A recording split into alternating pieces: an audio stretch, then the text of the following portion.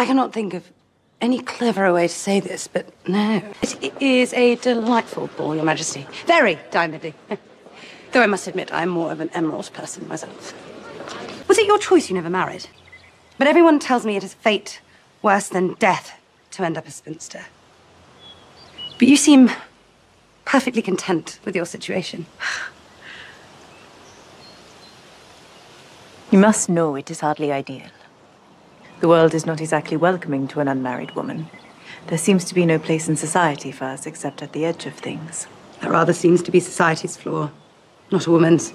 Sprite practiced it several times. Do not patronize me and give me that! I despise you. Do I really wish to know? Do not answer that. Come and see the baby Eloise. Why has it changed since I saw him last?